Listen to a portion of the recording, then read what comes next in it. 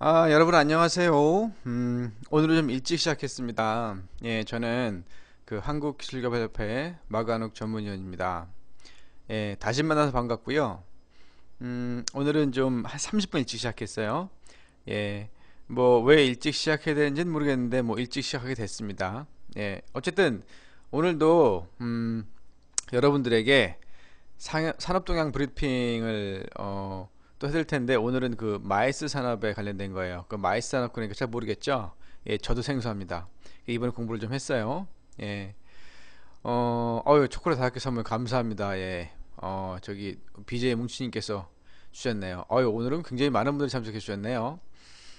자, 근데 뭐 이거 저는 뭘 하- 항상 이렇게 그 온라인 강의 하기 전에 잡담을 좀 하죠. 예. 오늘도 잡담을 좀 해야죠. 자, 우리가 이제 그 이 중반기까지, 그러니까 상반기죠, 상반기. 예.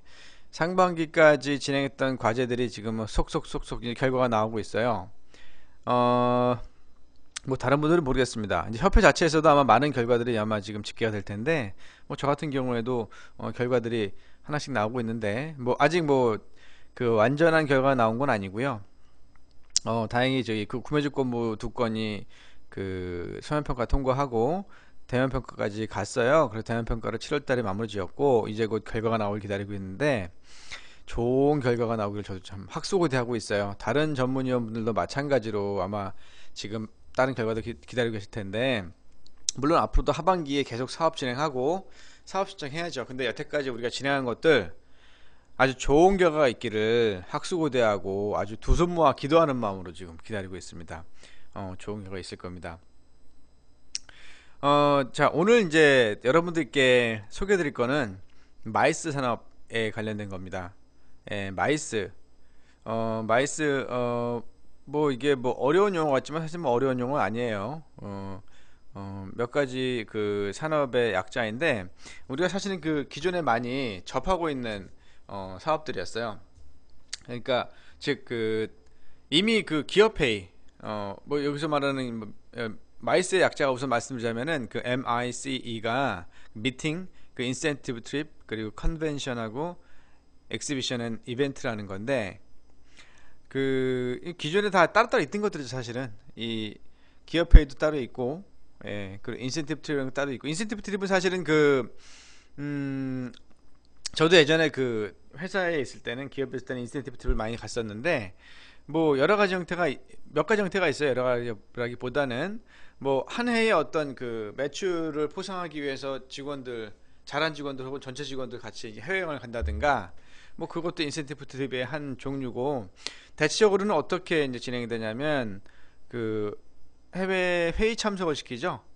해외 이제 다른 뭐 대리점 혹은 지사들 혹은 뭐 다른 기업들하고 타기업하고의 회의를 위해서 이제 해외로 출장을 보냅니다. 그럼 사실 그 자체가 인센티브 트립이에요. 왜냐하면 출장 가는 동안에 뭐 비행기값, 항공료, 그리고 좋은 호텔, 그리고 뭐 가면은 어쨌든 회사 법인카드로 뭐 저기 관광도 좀 하고요.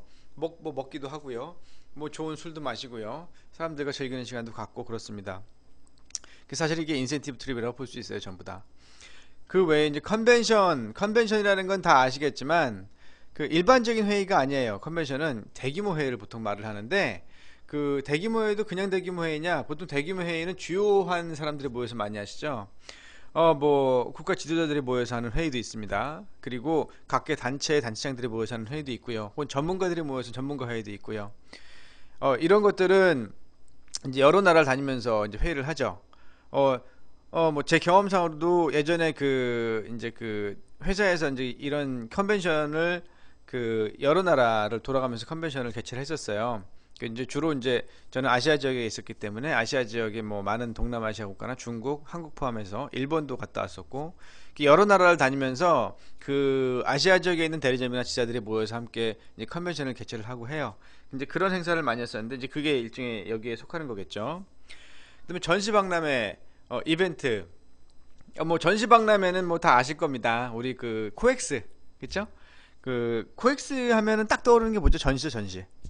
그리고 뭐 대구의 엑스코, 부산의 벡스코, 어, 뭐 호덱스, 전남의 호덱스 뭐 많습니다. 그리고 일산에 가면은 저기 키- 저기 킨텍스 있고요. 화성에 가면 신텍스라고 있고요. 전시회장이에요. 전시회를 하면서 큰 규모의 컨벤션도 할 수 있고 전시회도 할 수 있도록 만들어 놓은 이제 시설 다 갖춰 놓은 곳들이죠. 뭐 이런 것들을 통해서 하는 것이 무엇이냐면 어, 전시회를 유치하거나 회의를 유치합니다. 그래서 그런 장소를 빌려주죠. 대관을 해주면 그 장소 사용료를 내는 거죠.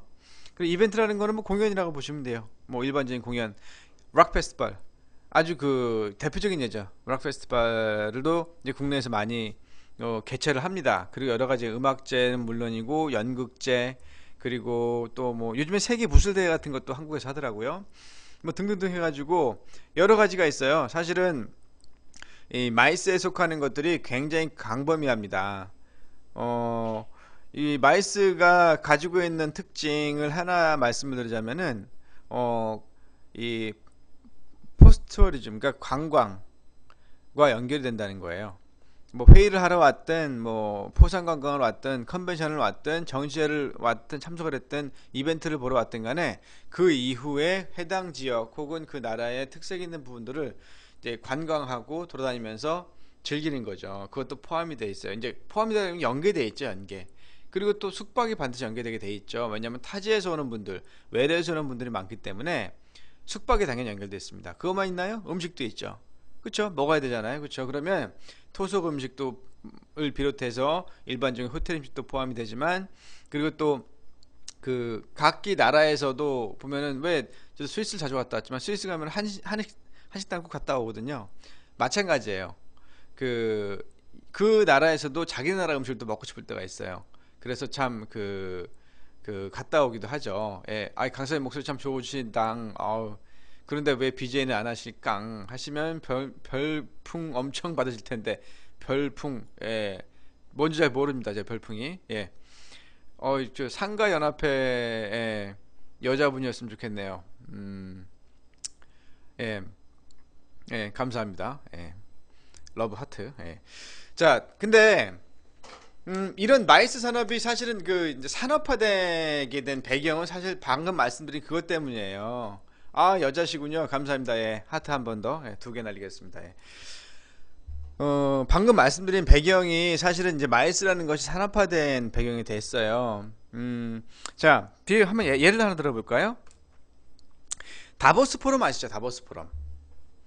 음, 다보스 포럼이 뭐냐면요. 예, 어, 그, 그 세계 경제 포럼이에요. 그래서 세계 경제의 리더급들, 예를 들어서 중국의 마윈 회장도 포함이 돼 있고요. 그리고 뭐, 뭐, 여러 가지 뭐, 저기, 그, 제가 알기로는 예전에 그 스티브 잡스도 아마 여기 들어가지 않았었나 싶은데, 이런 사람들, 그러니까 뭐, 기업가만 있는 게 아니고요. 뭐 경제 관련된 뭐 관료들도 포함이 되어 있고요. 아, 이건 민간 조직이긴 합니다.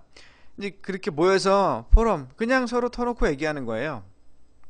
근데 어, 저도 스위스는 많이 가봤지만 이 다보스라는 곳 한 번도 못 가봤는데 정말 아름답네요. 사진을 보니까 아름답죠. 어, 스위스는 나라 자체가 참 아름답습니다. 봄, 여름, 가을, 겨울 할 것 없이 다 아름다워요. 여기는 제가 살고 싶은 나라 중에 하나가 스위스입니다. 어, 근데 이 다보스라는 지역은 사실은 큰 도시가 아니에요. 굉장히 자연 풍광이 아름답고 그 깔끔하고 작은 도시예요. 작은 마을, 마을 같은 거예요. 마을, 휴양 도시처럼. 그래서 자연으로 휩싸져 있고 어 굉장히 그 휴식을 취할 수 있는 사람이. 음, 저는 뭐 개인적으로는 루체른이라는 곳을 자주 갔었고 찌리를 자주 갔었는데 베른도 갔었고 근데 루체른이라는 곳이 그 휴양 도시예요. 그래서 가면 주변에 가면은 그 굉장히 큰 거산들이 많이 3,000m, 2,000m 이상의 큰 산들이 많이 있는데 그 그런 자연에 휩싸여 있는 도시라고 보시면 돼요. 근데 이 작은 도시에서 작은 마을에서 이 다보스 포럼이라는 거를 개최를 하게 된 것이 사실은 이, 이 마을 자체의 노력뿐만이 아니에요. 정부, 그러니까 스위스 정부의 노력이 있었던 거예요. 이거를 산업화 시켜서 어떤 부가가치를 일으키고 파급 효과를 만들 수 있도록 이 어, 굉장히 그, 그 훌륭한 비즈니스 모델을 만들어 놓은 거죠. 국제회의 유치라는 거죠. 그게 바로. 그래서 이 다보스 지역에서는 어, 그냥 조그만 관광 휴양 도시였다가 국제 포럼이 유치가 되면서 그 주변에 관광 산업도 발전을 하고 그 다음에 또 뭐가 들어왔겠어요? 이제 숙박도 많이 어, 활성화가 되고 식음 저기 그 음식점들 그쵸? 그 먹는 먹어야 되니까 그것도 활성화가 되고 그거와 더불어서 같이 활성화되는 게 관광 상품들 그 외에 뭐아뭐 아, 뭐 관광 뭐 스비니어 같은 거 있잖아요 저기 그 그 저기 뭐라 그러죠? 기념품에 관광 기념품 등등 이렇게 그런 것도 많이 발전을 하죠. 그러면서 다보스가 어, 세계적으로 유명한 도시가 됐어요. 예, 유명한 마을이 됐죠, 마을. 예, 마을이 됐어요. 어, 이게 이제 하나의 굉장히 그, 그, 잡담하지 마세요. 게시판에. 이게 강의 들으세요. 잡담들 하고 그러세요. 예? 저기, 뭐야. 저기, 그, 저기, 잡담하지 마시고 강의 들으세요. 예. 이게 하나의, 어, 굉장히 훌륭한 비즈니스도 되고 산업화가 되면서 이 마을 자체가 하나의 관광 브랜드가 됐어요. 이 마을이. 그래서 많은 사람들이 이 다보스 포럼을 통해서 알게 된 많은 사람들이 또 여기를 방문을 합니다. 여기 방문을 해요. 관광하러. 어, 그 좋은 예 중에 하나죠. 그렇죠? 근데 이제 우리나라 정부도 가만히 있을 수 없잖아요. 우리나라도 좋은 자원이 많습니다. 사실 이런 부분에서 보자면은 좋은 자, 자원이 많이 있어요. 뭐 한식도 사실은 많은 부분에서 세계인들에게 지금 입맛을 맞춰가면서 인기를 좀 끌고 시작했죠. 그리고 한류, 뭐 K-팝 스타들이 많이 나와서 한국의 어떤 정서와 음악 그리고 문화를 많이 알리기 시작했어요. 그 다음에 또, 또 한국의 가진 자원 그 우리만의 톡, 독특한 고유한 어떤 그 문화가 있죠. 복장 물론 물론 지금 뭐 많이 다 서구화돼서 통일화된 어떤 그런 복장을 입지만 과거에도 뭐, 뭐, 뭐 경복궁 같은 경우는 한복 뭐 데이라 그러나요? 뭐 그런 게 있어가지고 한복을 입으면 무료로 출입할 수 있게끔 한다든가. 뭐 저는 개인적으로는 한복을 좋아하긴 합니다. 잘 입지는 않지만 그래서 뭐 편안하게 입을 수 있고 평상시에 입을 수 있는 한복이 있다 그러면 어 입고 싶긴 해요. 근데 한복이 좀 비싸더라고요 생각보다. 음. 뭐 그런 것들도 있고요. 그쵸? 그리고 가옥도 사실은 어 유럽이나 이 미주 사람들이 볼 때는 굉장히 독특한 구조예요. 우리나라 가옥, 전통 가옥도 그렇고 전통에서 약간 개량한 가옥도 그렇고 그래서 이제 그런 것도 하나의 상품이 될 수가 있고요. 어 그런 것들을 이용하면은 이 MICE 산업에서 굉장히 큰 그 하나의 자원으로 활용이 될 수가 있어요. 그리고 또 우리나라는 그 좋은 것이 또 굉장히 큰 컨벤션 홀이나 전시장들이 많이 대도시별로 지어져 있죠. 예, 잠시 뒤에 이제 그거에 대해서 좀 말씀을 드릴게요. 자, 이 정부가 그래서 2017년도 2월 달에 이, 이 MICE 산업을 좀 더 이제 활성화시키고 발전시키기 위해서 음, 그 3대 전략 7개 과제를 발표를 합니다. 어, 예. 어, 상가연합회님 울지 마시고요. 예, 뭐 제가 뭐 그렇다고 뭐 그런 건 아니고요. 자, 이 사람들이 그이 정부가 이 많은 기업들 그리고 많은 관광 관련된 그 산업들 어, 플러스해서 어, 현재 그 각 지역별로 많은 전시장이나 컨벤션을 만들어 놨지만 많이 사용이 되지 못하는 그런 사실 현실이 있었어요. 자, 예를 들어서 그 광주에 있는 걸로 알고 있는데 김대중 컨벤션이라는 곳이 있긴 합니다. 근데 백범 김구홀이 있다는 것도 아세요? 모르실 거예요 아마. 백범 김도, 김구홀도 있어요. 그게 어디냐면은 저기 그 저기에 있습니다. 저기 용산 저쪽에 있어요. 근데 거기도 컨벤션 홀이에요. 근데 거기는 많이 사용을 사람들이 아니야 모르니까. 예. 아유. 어 이게 초콜릿을 선물해 주면 뭐가 좋은 건가요? 저 초콜릿 먹을 수 있는 거예요? 뭐 초콜릿을 막 날리시네. 음.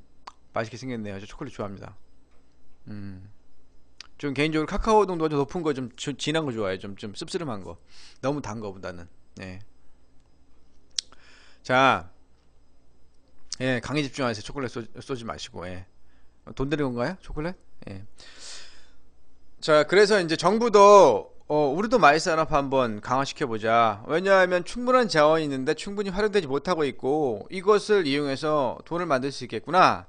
이미 사실은 MICE 산업의 이런 정책, 정부의 정책 방향을 발표하기 이전에 어, 한국에서는 어, 많은 지자체나 많은 기관들이 단체들이 MICE 산업을 위해서 활동을 하고 있었어요 이미 지역별로 활동하고 있었고 기관별로도 활동하고 있었고 그래서 사실은 많은 그 국제 회의도 유치를 하고 그리고 전시회도 유치를 하고 그런 활동들을 하고 있었습니다. 그것도 잠시 뒤에 보여드릴 거예요. 자, 중요한 것은 그 MICE 어, 이- 시리가 또 혼자 작동하네요. 예, 제가 시- 시리라고 하지도 않았는데 혼자 작동하네요. 예, 아이폰 요즘 미친 것 같습니다. 예, 아이폰이 제가 뭐 말만 하면 작동을 자꾸 혼자 해요. 음, 그, 이 올해 이제 2017년도에 이런 전략을 세우면서 목표를 세운 것이 15년도에만 해도 100, 157만 명의 외래객이 있었대요. 관광객이 아니고요. 이 MICE 산업을 통해서 들어온 외래객 회의를 하거나 국제회의에 참석하거나 전시에 참석하기 위해서 국내에 들어오신 외국분들 이런 분들 157만 명이었는데 이제 올해 2017년에 180만 명까지 늘리겠다. 더 많이 유치를 하겠다. 그리고 산업 규모도 2015년 기준 5조 원 규모였는데 2017년에는 5조 5천억 규모로 늘릴 수 있도록 뭔가 사업을 활성화하겠다. 그 얘기예요. 근데 뭐 사실 2년 동안 5천억 늘린다는 걸 다른 산업과 비교해 볼 때는 굉장히 큰 규모는 아닙니다. 이제 5조라는 시장 규모가 엄청난 규모는 아닌데 여기서 말하는 이제 그 이 MICE 산업에 대한 5조의 파급 효과 때문에 그 뒤에 이어지는 파급 효과를 말씀드리는 거예요. 숙박 그리고 뭐 요식업 그리고 뭐 관광 상품 뭐 뭐 기념품 같은 거 그런 것들에게 파급효과 주기 때문에 사실은 이것만 볼 수는 없어요. 이거 말고도 많은 파급 효과가 있습니다. 자, 그래서 3대 전략을 무엇을 세웠냐? 일단은 마을 산업에 대한 발전 기반을 조성을 해야겠다. 뭔가 제도적인 측면에 뒷받침이 돼야 된다는 거죠. 그리고 마을 산업 육성 및 고도화를 해야겠다. 뭔가 지원책이 필요하다는 겁니다. 그 다음에 글로벌 경쟁력 강화를 하겠다. 그러면 마이스에 참여하는 플레이어들, 플레이어들의 어떤 역량을 강화시켜야겠다라는 의미가 들어가 있겠어요. 그래서 마을산업 발전 기반 조정에서는 우선 동반 성장 여건을 마련하고 지역 육성 체계 개선을 하겠다. 이 부분 자세하게 뒤에 설명드릴 거예요. 또 무엇을 말하는 것인지 MICE 산업 육성 및 고도화는 업계 지원을 확대하고 인력 양성 및 창업 활성화를 어, 어, 주도하고 유관산업 경제적 파급 효과를 제고하겠다. 여기서 말하는 유관산업이라는 게 결국에는 예, 일반적인 관광산업에 포함되는 것들을 얘기합니다. 다음에 글로벌 경쟁력 강화라는 건 해외 마케팅 역량을 강화, 하고 그리고 글로벌 네트워크 체계 네트워크를 체계적으로 관리하겠다. 고객 관리하겠다는 얘기예요. 음. 자, 제가 이제 이 자료를 만들다 보니까 이미 2017년 2월 2일 날 문화체육관광부에서 굉장히 좋은 자료를 내놨더라고요. 굉장히 좋은 자료. 제가 만들려고 한 자료를 이미 만들어 놓으셨더라고요. 그래서 그 자료를 이용해서 여러분들에게 별도로 설명을 좀 드리겠습니다. 자, 이게 뭐냐면은 2017년 2월 2일 날 문화체육관광부가 MICE 산업 발전 방안에 대해서 나눈 거예요. 자, 모든 부분을 다 보지 않을 거예요. 40페이지 넘어요. 그래서 부분 부분 우리가 좀 눈여겨볼 부분만 좀 보고요.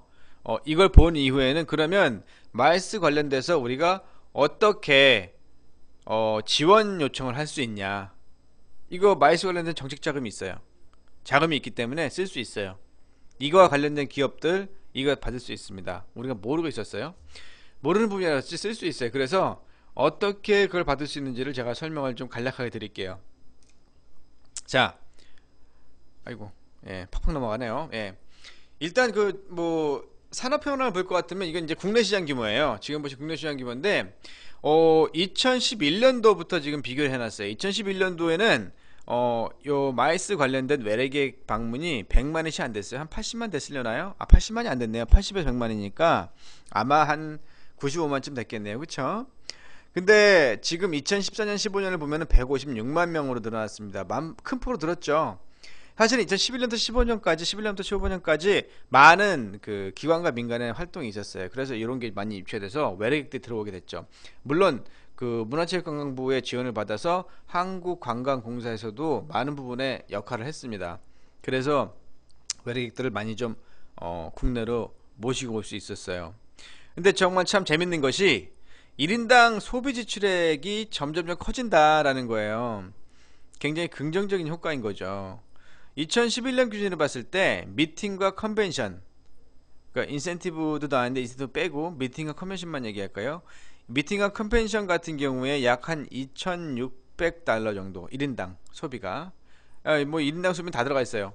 뭐 참가비 있겠죠. 전시회나 그, 그 국제에 참가하면 참가비가 있겠죠. 그리고 숙박, 그리고 먹는 거, 음식, 그리고 관광 상품을 사는 거, 뭐 교통 이런 거 다 들어가 있겠죠. 그래서 약 한 2,700달러, 약 우리나라 돈은 300만 원치 안 됐어요. 그쵸? 근데 이게 2015년 같은 경우는 어, 아, 3,000달러, 저 2,700달러. 근데 2015년 같은 경우에는 3,127달러. 어, 300한 30만 원 정도 되죠. 늘었죠. 물론 물가가 좀큰 늘은 것도 있습니다. 그렇게 돈을 더 써야겠죠. 예, 그렇지만 인센티브 trip 같은 경우에 보면은 2011년도 같은 경우에는 1000달러가 안 됐어요. 1인당 소비액이 약 한 70, 700달러 정도, 한 80만 원 정도 됐는데 2015년 같은 경우는 2000달러예요. 200 한 20만 원, 210만 원에서 20만 원 사이 되는 거죠. 그렇죠? 어, 굉장히 이건 두 배 이상 큰 폭으로 늘었죠. 그러니까 여기서 시사하는 바가 뭐냐면 인센티브, 그러니까는 인센티브 trip 주로 이제 관광을 애초부터 목적으로 하고 오는 사람들이 확실히 많이 쓰게 돼 있어요. 보면은 음, 저의 경우를 봐도 사실 그렇습니다. 어, 저의 경우를 봐도 그래요. 근데 이게 일반 관광객, 그러니까 여기서 말하는 MICE를 통해서 유입되는 외래객이 아닌 일반 관광, 그러니까 요우커들이 대표적인 얘기겠죠. 요우커도 포함이 되고 그냥 관광하러 온 사람들, 놀러 온 사람들 같은 경우에는 1715달러, 즉 200만 원이 채 안 돼요. 거기에 비교해서 볼 때는 굉장히 큰 거예요. 이 MICE의 어떤 그 경제적 파급 효과가 더 크다. 일반적인 관광보다 더 크다 라고 볼 수가 있습니다. 그러니까 이거 집중 좀 해야겠죠. 나라에서도 집중할 필요가 있습니다. 그리고 이제 세계 랭킹은 우리가 2011년도만 해도 6위. 세계 랭킹을 얘기하는 건 뭐냐면은 국제 회의를 개최한 실적을 얘기하는 거예요. 우리는 모르지만 많은 국제 회의가 한국에서 많이 개최되고 있어요, 지금. 꽤 오래전부터 개최되고 있고요.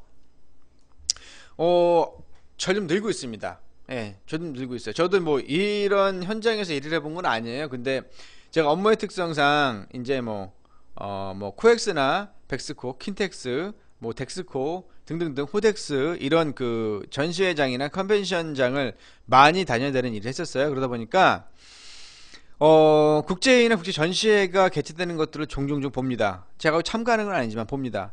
그러면 그 제가 꽤 오래 다녔죠. 음, 수십 년 동안 그런 현장을 돌아다녔으니까 그때 내가 한 10, 불과 10년 전만 해도 비교를 해볼게요. 10년 전만 해도 그렇게 국제회의라는 게 많지 않았어요. 실제로. 어, 뭐 무슨 무슨 국제회의, 무슨 국제전시회 이런 게 별로 없었어요.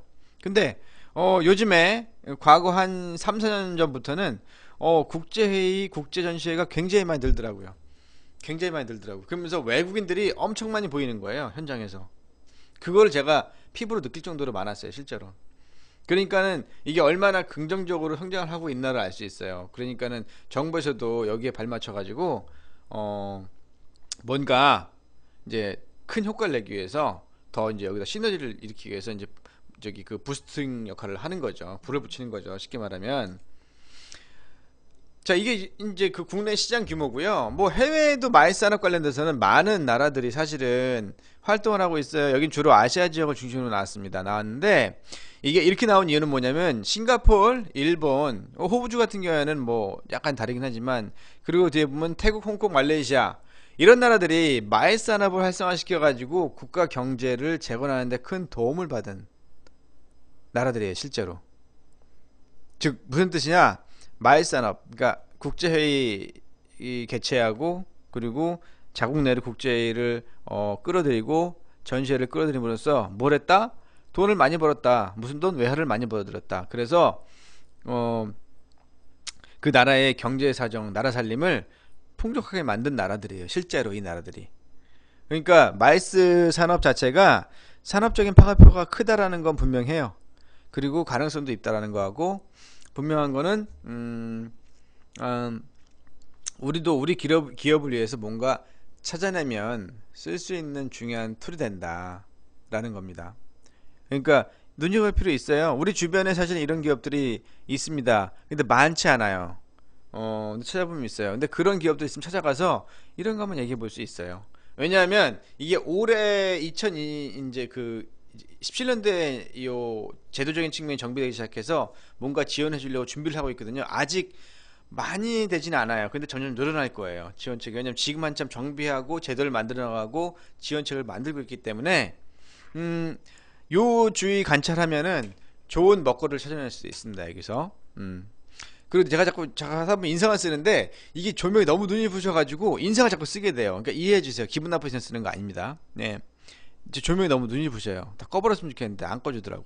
자, 뭐 추진 배경은 그래요. 그래서 뭐, 이- 뭐 이런 뭐 국제적인 뭐 국내 MICE 사업 그 산업 현황이 양적 성장을 하고 있고 뭐 관광 정책이 변하고 있어 질적 성장을 하고 있으며 그리고 국제적인 MICE 산업 동향이 경쟁 구도에 들어갔다 이미 이미 사실 예전에 들어갔어요. 예전에 들어갔는데 우리가 지금 후발주자야 따지면 이런 그 치열한 경쟁에서 우리가 뭔가 좀 선점을 하기 위해서는 민관 합의 협업해서 MICE 정책을 만들고 이끌어가서 산업 발전 시켜야겠다 해서 이제 이걸 하게 된 거예요.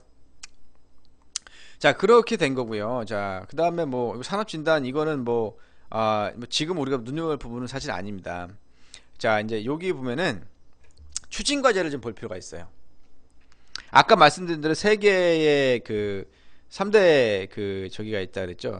까먹었네. 예, 그게 있고 하여튼 국제 경쟁력 강화를 하고 산업 육성 및 고도화를 하고 발전 기반 조성을 한다. 그럼 각각의 분야에 있어서 마케팅 경쟁 강화, 글로벌 네트워크 체계적 관리, 산업 지원 확대, 인력 양성 및 창업 활성화, 유관 산업 파급 효과 제고, 동반 성장 여건 마련, 지역 육성 체계 개선 이것들을 내 일곱 개의 세부 추진 과제를 앞으로 실행하겠다라는 얘기고 여기에는 기업 지원책도 있습니다. 뭐 기업 지원책이라고 볼 수도 있지만 뭐 기관이나 단체를 지원하는 정책도 있어요. 음. 자, 뭐 이, 이 부분은 넘어갈게요. 더 앞서 앞서 얘기한 거고요. 뭐 현재는 그 이 MICE 산업 관련해서 국내에서는 여태까지 좀 흙탕물이었어요, 사실은 흙탕물. 왜냐하면 그 어떤 제도적으로 이거를 관리하는 장치가 없다 보니까 그냥 아는 사람들끼리 좋은 게 좋은 거라고 막 지들끼리 막 밀어주고 당겨주고 하는 그런 게 좀 있었어요. 근데 이제 그거를 좀 없애고 공정 경쟁을 할 수 있게 협약을 체결하겠다. 이제 3월 달에 협약을 체결하겠다 했는데 아마 했을 거예요. 그쵸? 어, 그리고 이 협약을 불이행하면 제재 조치하겠다. 그래서 공정하게 경쟁하고 어, 서로 윈윈할 수 있는 체계를 만들겠다는 뜻이에요. 어, 그리고 그 어떤 그 불공정 관행에 대한 부분을 조사를 해서 이거를 제도적으로 어, 계도할 수 있는 가이드라인을 만들겠다는 뜻이에요. 뭐 그런 거 이제 어, 하고 있습니다. 이제 올해 안에 만들겠다는 뜻이고 내년에 또 나오겠죠. 12월 달까지 보니까 이제 어, 제작금이 확산을 한다 그러니까 내년에는 본격적으로 사용할 수 있을 겁니다. 그 다음에 그 지역 육성 체계 개선 관련돼서는 그 이게 그 마이스라는 게 결국은 관광 상품과 연결이 돼야지 시너지가 있잖아요. 그러다 보니까 한 지역에 몰빵되는 그런 사례를 줄여야 됩니다. 주로 서울, 부산, 제주에 몰빵되어 있어요.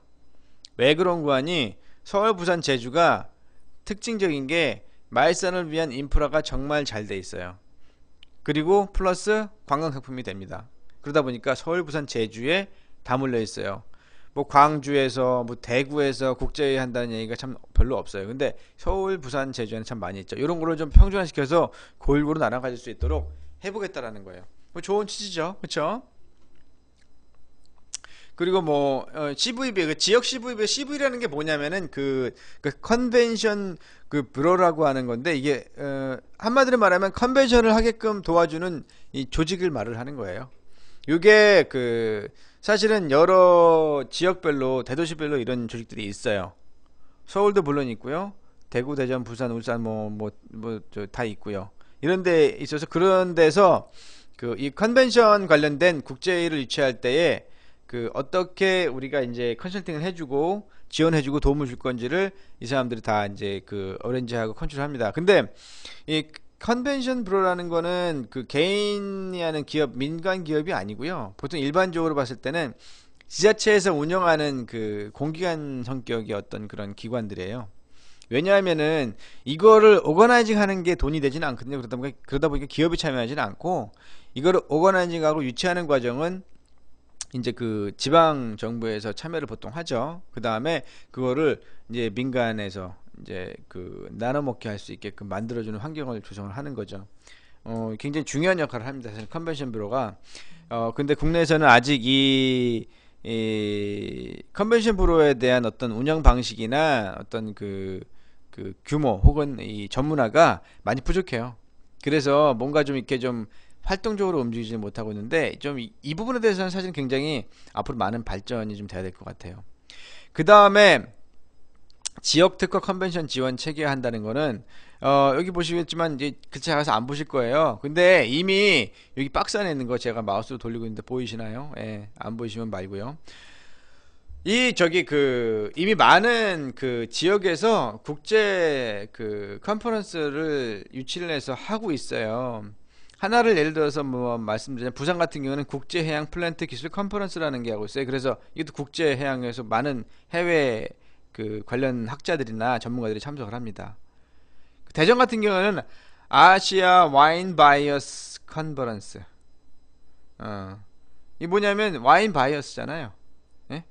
와인 사는 사람들, 음, 와인 좋아하는 사람들 모여서 와인 마시고 뭐 그 와인 관련된 회의 하자는 거예요. 이런 것까지 있어요. 별별 게 다 있죠. 이제 여기는 그렇게 일부고요. 더 많은 것들이 있습니다, 사실은.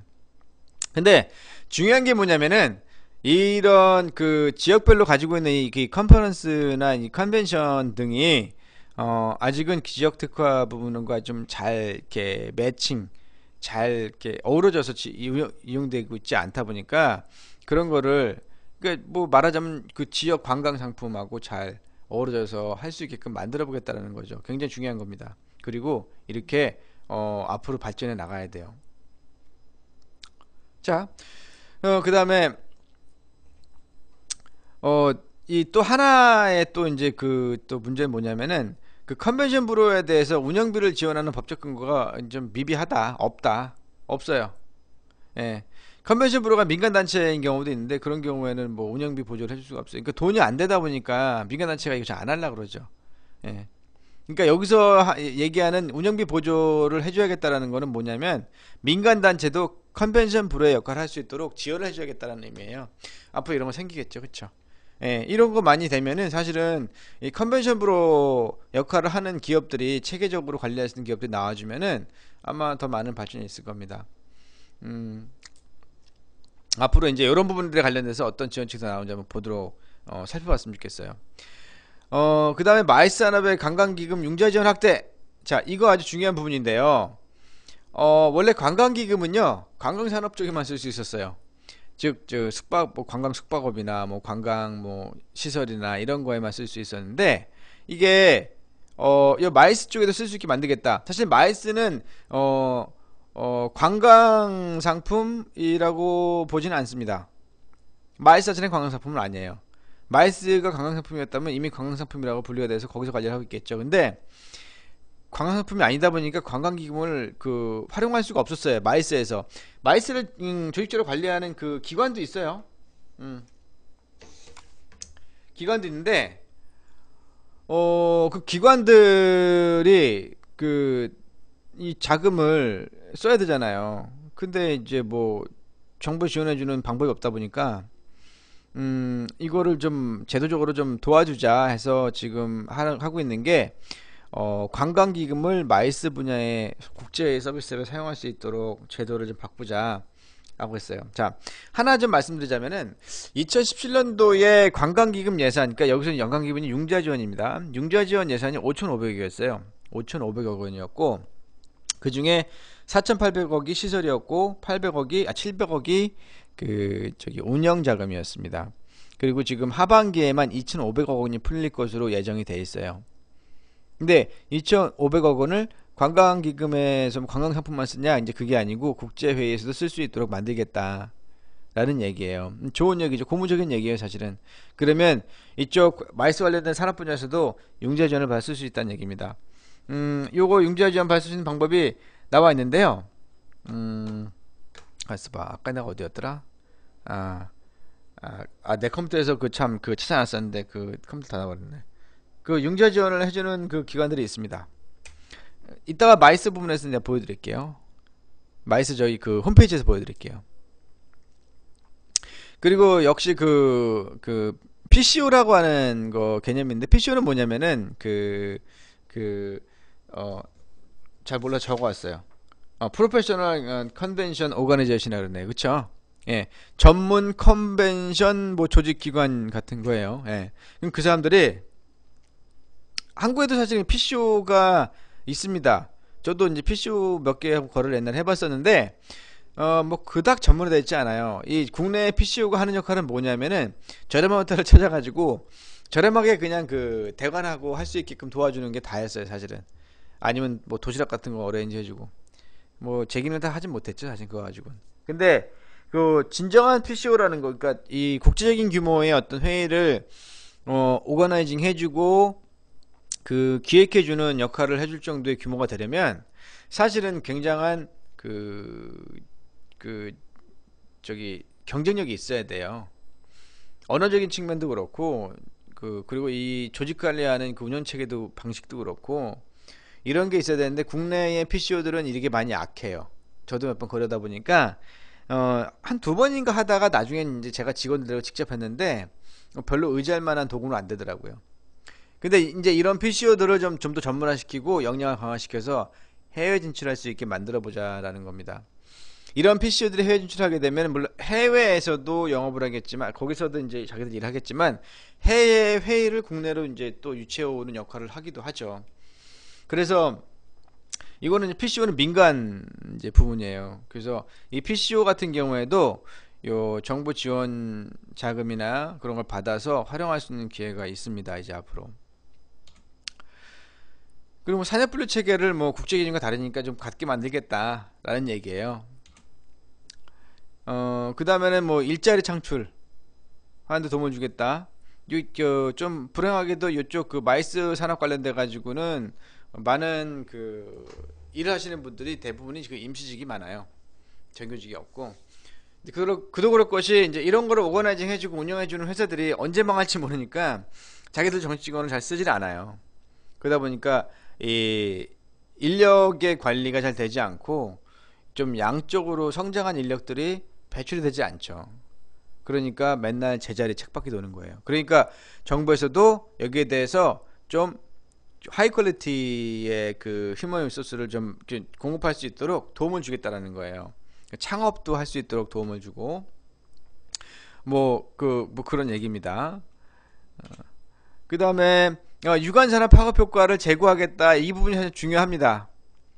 음, 여기 보시면은 그 체류기간 연장 소비 확대를 위한 강력 프로그램 확대 필요하다고 써 있는데 마이스와 관련돼 가지고 국내에 유입되는 외래객들이 어 본래 자기들의 그 회의 일정 혹은 뭐 컨벤션 참가 일정 전시 참가 일정 이런 것을 제외하고 그냥 한국에 그냥 머무는 시간은 1.6일 이틀이 채 안 된대요. 이거밖에 안 되다 보니까 관광을 하거나 돈을 쓸 시간이 많지 않은 거예요. 이렇게 관광을 하거나 쓸 시간이 많지 않은 사람임에도 불구하고 일반 관광객들에 비교해서 거의 두 배 가까운 수준의 비용을 쓰니까 이 사람들이 만약에 관광을 할 시간이 충분히 있고 돈을 쓸 시간이 있다 그러면 또 얼마나 많이 쓸까요? 그러니까 굉장히 중요한 겁니다. 이거 꼭 해야 돼요. 예, 이게 어디로 가야 중심인가요? 여기가 중심인가요? 예. 이거 꼭 해야 돼요. 즉 뭐냐면은 그 파급 효과 관광 프로그램에 대한 파급효를 높여서 관광 상품을 이용할 수 있게 그렇게 유도를 해야 됩니다. 되게 중요해요. 그죠? 자, 그, 뭐, 관광 상품 연결시킨다는 거고요. 어, 그리고 이제 그, unique venue라는 거는 그, 음, 뭐, 베르사유 궁전, 뭐, 뭐, 루브르 박물관이나 뭐, 솔베이 library 예시가 나와 있네요. 헨리포드 뭐, 자동차 박물관, 뭐, 이런 거. 그, 그 하, 어떤 한 지역에 특색이 되어서 랜드마크처럼 이용이 돼서 그 지역에 가야만 볼수 있는 것을 보통 말합니다. unique venue라는 게 한국에도 이런 게 있죠. 이런 거를 많이 만들면 이 생겨나고 활성화시키고 홍보를 하면 사람들이 어떤 지역에 회의하러 왔다가도 그거 보려고 며칠 동안 더 머문다는 얘기예요.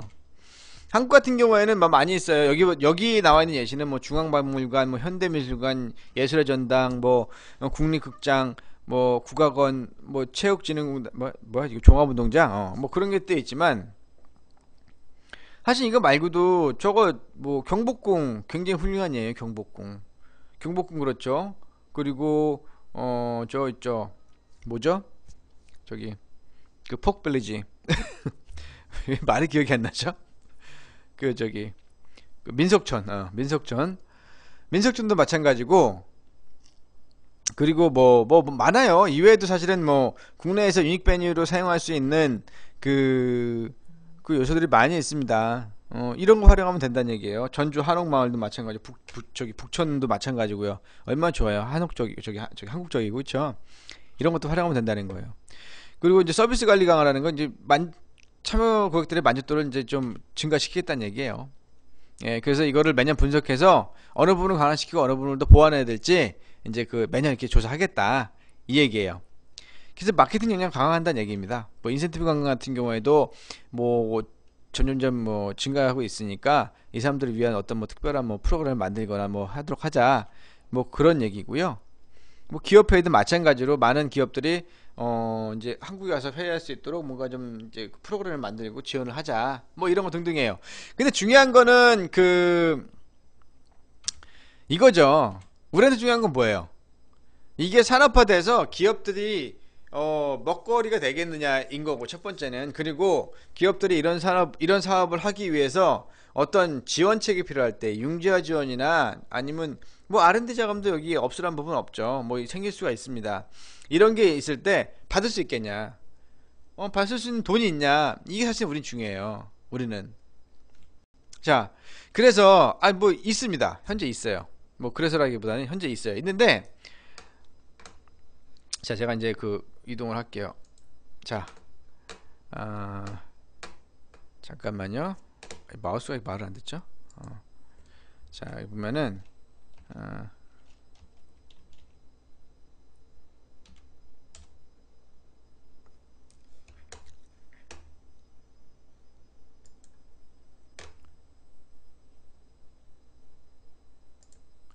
그 왜안 나와요? 음. 그 마이스랑 관련돼서 K 마이스라는 그 단체가 있, 기관이 있어요. 그래서 그, 그 웹사이트 주소는 k mice 어, visitkorea or kr 예 그렇게 되어 있습니다. 여기에 들어가면요 어, 실제로 그 지원되는 정보를 어, 볼 수가 있어요. 아, 내가 여기다 그 링크를 걸어놨는데 어, 아, 여기 있네요. 예. 예. 여기 보면 이제 kmice.visitkorea.or.kr 써 있죠. 이게 바로 이제 그 어, 제가 방금 여태까지 설명드린 예, 그 것입니다. 어, 좀 크게 줄여야겠네요. 이게 창밖으로 너무 많이 나가. 아우 마우스가 말을 안 들어요. 우리 돈 빨리 벌어서 협회 좀 컴퓨터 좀 바꿔줘야겠어. 아 컴퓨터가 진짜 하다 보면 성격 버려 사람. 돈 있으면 바꿔주고 싶어 진짜. 자 크게 좀 더 줄일게요. 이쯤 줄여야겠네. 예, 이러니까 좀 나오네. 자, 이것이 무엇이냐면 그 K마이스 그 정부 기관에서 같이 만든 거예요. 그 아까 얘기했죠. 민관학 예? 함께 어, 만들자. 그래서 만든 게 이게 바로 이제 K마스입니다. 이 보시는 게 여기에 보시게 되면요 여러 가지 내용들이 있는데 뭐 인재 채용, 마이스 동향, notice, 뭐, 뭐, 뭐 칼렌더가 이거 등등 있죠. 여기 보면은 마이스 관련된 국내 마이스 관련된 게 다 나옵니다. 근데 여기 뭐 유관기관 사이트 보면 문화체육관광부, 한국관광공사, 뭐 행복여행, 뭐 K performance, 뭐 베니키아 호텔, 뭐 정부 3.6 나와 있죠.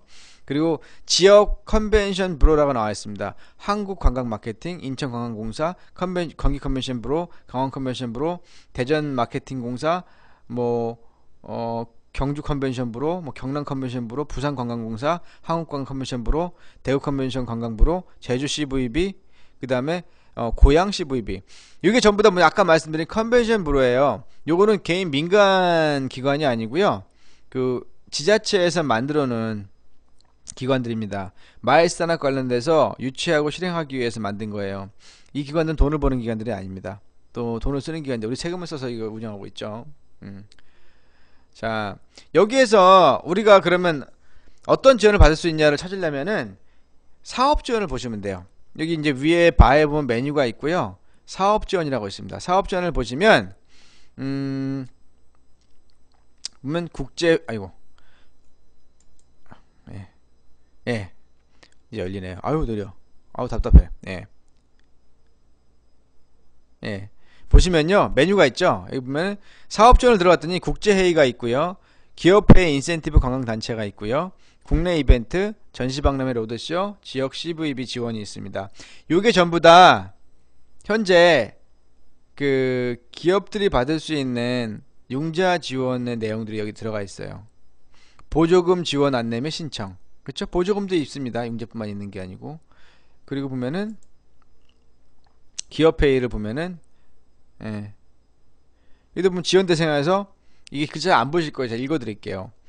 어, 기업회의 인센티브 관광단체의 지원 대상 단체는 공통 지원 기준이 2박 이상 체를 해야 되고 외국인 10일 이상 10인 이상 표, 표 포함이 돼야 되고 음, 동호회 팬클럽 중, 음, 종교단체 공무원 학원단체 학생단체는 제외다.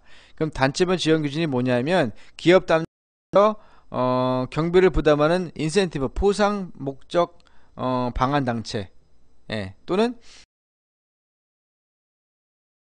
네, 방한 단체로 일정 어, 표상 4시간 이상 회의를 개최하는 목적을 가져야 된다 그렇게 되어 있어요. 그래서 보면은 각각의 지원 기준 인원수나 어, 선박입국이나 한국 입국에 따라서 그 이렇게 등급이 정해져 있고요. 등급에 대해서 A, B, C 어, 이 뭐야? B S S A B O D 예, CD, CD네요. 예, 글자 하도 안 보여요. 요렇게 등급이 나눠져 있고 등급에 따라서 지원을 해줍니다. 지원을. 그럼 지원 항목이 뭐가 있냐? 기념품 지원, 공연 지원, 관광지 지원, 체험 지원, 환영 행사 등 지원. 이거는 뭐 현금을 주는 건 아니에요. 근데 이 사람들이 와서 즐거울 수 있게, 재밌게 놀 수 있게 지원해 준다는 얘기예요. 그럼 여러 가지 공연 내용들도 여기 있고요. 이런 정보들이 있어요. 이런 거를 기업이 활용할 수 있게 우리도 어렌지할 수 있어요. 돈만 해주는 건 아니잖아요. 그쵸? 이런 것도 활용해 보세요 하고 우리가 어, 어렌지할 수 있습니다. 그리고 뭐 국제회의를 볼까요? 국제회의 같은 경우에 보면은 음, 보조금 지원 안내 신청 예, 뚝 들어가면요 음, 지원 절차의 방법이 나와 있습니다. 예. 보조금 지원 안내 신청의 지원 절차의 방법에 보면은 뭐, 뭐 주간 단체가 뭐 회원 가입을 하고 온라인 신청을 하면 실사를 통해서 보조금 승인을 하면 행사 진행 승인 항목 내에서 선지출하고 결과 보고 선지출을 한대. 선지출하고 결과 보고 하면은 그 다음에 청구 제출하면은 청구 제출한 거에 대해서 증빙서로 적합성 여부를 검토한 다음에 보조금을 입금해 준다. 사주네. 또는 주는 거예요. 직접 이거는. 음. 이거 현금을 주는 겁니다. 이런 것도 괜찮죠. 그렇죠? 어, 이거는 그, 그 지원 대상이요. 그 딱히 그 정해져 있지 않아요. 이게 이제 국내 주체나 지, 주관 단체가 학 뭐 학회, 협회, 조직위원회 등이 있고 어, 어, P, 뭐 PCO가 있고 아까 얘기한 그, 그 Professional Convention Organization 얘기하는 거죠. 이런 PCO들이 돼 있고 사실은 이런 PCO들을 대상으로 해서 우리 기업이 거래를 하게 되면 PCO한테 어떤 현금 할인을 받을 수 있는 계획이 됩니다. 음, 딱히 정해져 있는 게, 있는 게 아니고 정해져 있네요. 정해져 있는 게 없는 게 아니고 예. 그렇게 돼 있어요. 뭐 그리고 국내 이벤트 같은 경우에도 뭐 어떤 것들이 있다 이게 소화 소개를 하면서 어떤 형태 의 지원을 해준다라고 내용이 나와 있어요. 전시 박람회 로드쇼도 마찬가지입니다. 전시 박람회 로드쇼 같은 경우에도 보면은 어, 어, 해외에서 하는 거를 그 지원해 주는 것도 있고요. 여기 보면은 그 다음에 그 로드쇼 지원 같은 경우도 있고 뭐 등등등 안내가 많이 나와 있어요. 근데 내가 이 자세한 내용을 들어가서 보려고 했더니 어, 화면 원래대로 좀 키워달라고요. 네, 키워드릴게요. 근데 잘 보일까 모르겠어요. 네. 보이시나요? 보이세요? 음. 국제회부터 보여드릴까요? 이렇게. 음. 요, 요 주소는요, 제가 여기다 바로 찍어서 보여드릴까? 여기.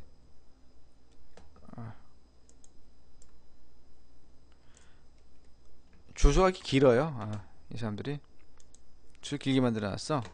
주소는 아 마우스 말을 안 들어. 어막 신경질 나려 그래. 음 이겁니다. k-visit.korea.or.kr www 없어요. 예. 이거예요. 그래서 여기 들어가 보시면 그 내용을 다 확인할 수가 있어요. 마이스 관련돼 가지고 이렇게 지원을 구체적으로 하기 위해서 뭔가 좀 정책을 만들어 놓고 좀, 어, 좀 시작을 하고 있습니다. 아마 이게 점점 점점 확대가 될 거예요. 근데 중요한 거는 우선은 이게 좀 잘 돼야겠죠. 지금 현, 현재 실행되고 있는 것들이 잘 돼야 그래야 아마 어, 앞으로 더 많은 이제 지원책이나 그런 것도 나오지 않을까 그런 생각이 듭니다. 자, 뭐 이건 뭐 들어가서 보시면 되고요. 예. 예. 그래서 그 마이스하나 관련돼 가지고는 뭐 지금 보여드린 뭐 요 내용들이 사실 거의 다예요. 다고 어 이거에 대해서 제가 이제 좀 더 실질적으로 어떤 예시가 있는지 좀 찾아보려고 했는데 사실 예시를 찾아보기 좀 어렵더라고요. 뭐 그렇게 자세하게 나와 있는 내용은 없고 왜냐면 이제 정부 차원에서도 이제 이거를 체계화시켜 나가는 과정이고 사실은 그리고 이걸 좀 더 확대하고 좀 더 활발하게 이용할 수 있도록 그 이 정부에서도 지원책 그러니까 이 금전적인 지원 융자 지원을 어, 계획하고 있고 융자 지원에도 현물 지원도 하고 있는 거죠. 그렇죠? 현물 지원도 해, 해주고 있고. 뭐 그런 걸 만들고 있어요. 근데 앞으로 점점 늘어날 거로 봅니다. 어, 어 이, 이게 그 사실은 그 돈만 가지고 얘기를 한다면 아직까지는 미비해요. 여기서 뭔가 받을 수 있는 부분은. 근데 중요한 거는 기업이 가질 수 있는 베네핏이라는 혜택이라는 것은 그 반드시 뭐 R&D 그러니까 굉장히 R&D 자금 받는 게 어렵죠, 사실은. 음. 그 뼈를 깎는 고통을 참아내야 사실은 받을 수 있는 게 R&D 자금이죠. 근데 그거에 비교하자면 사실 이거는 기업이 어, 자잘하긴 하지만 받을 수 있는 좀 쉽게 받을 수 있는 그 지원책 중에 하나이긴 합니다. 어, 그렇게 이용할 수 있고요. 음, 그리고 비용 때문에 에, 한국에 이제 뭐 해외 여러 지사를 둔 나, 어, 한국 기업이 비용 때문에 뭐 대리점이나 뭐 지사들을 한국에 초청해서 회의를 하지 못하는 경우가 생기는 것보다는 이런 게 있으면 그런 돈을 받아 살 수가 있죠. 어, 뭐 그렇게 해서 쓸 수 있는 어, 충분한 투자라고 저는 생각을 하고요. 예, 앞으로도 이런 것들이 많이 확대돼서 많이 활용이 됐으면 좋겠어요.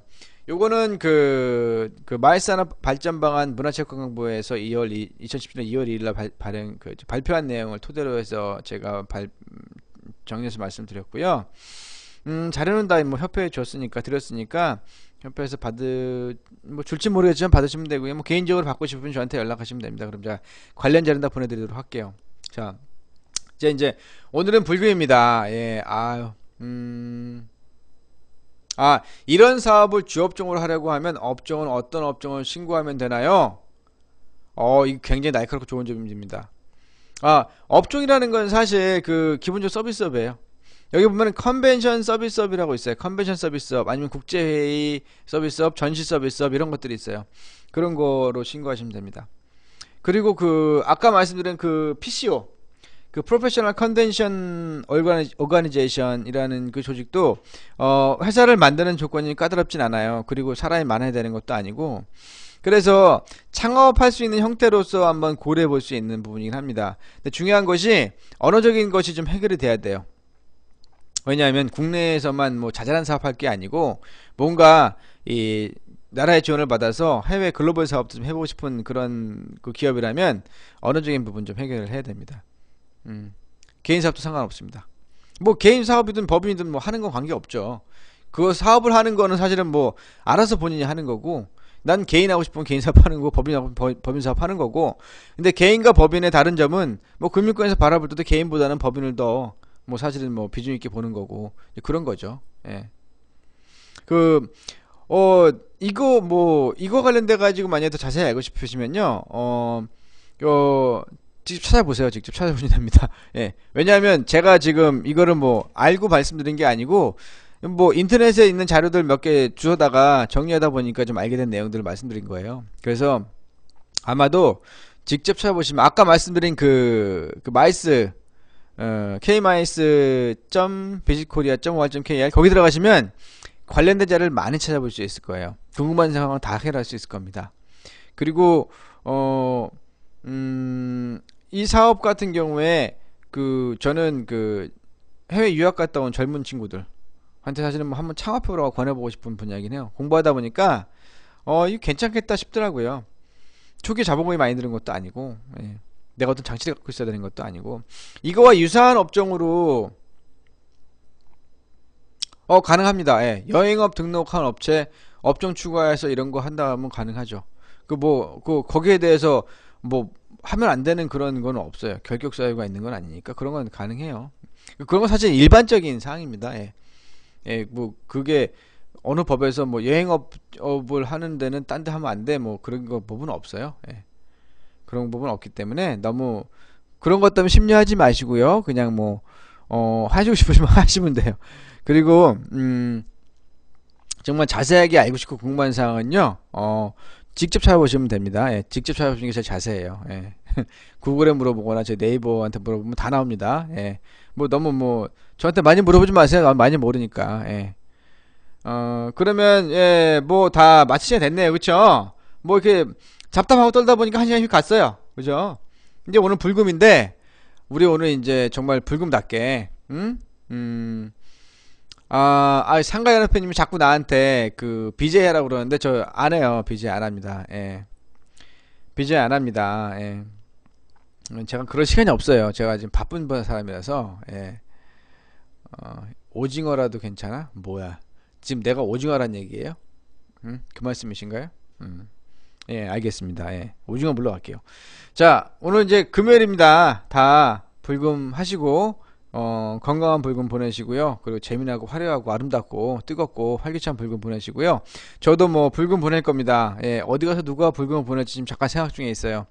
음, 뭐 불금인데 발 것이 마땅히 없습니다. 여러분들, 자, 행복하시고요.